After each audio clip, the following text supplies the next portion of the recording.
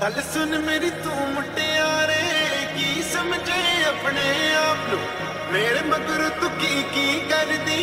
ਇਹ ਗੱਲ ਬਸ ਤੂੰ ਹੀ ਜਾਣਦੀ। ਮੈਨੂੰ ਸਿਰਫ ਯਾ ਪੇਸ਼ ਨਾ ਕਰ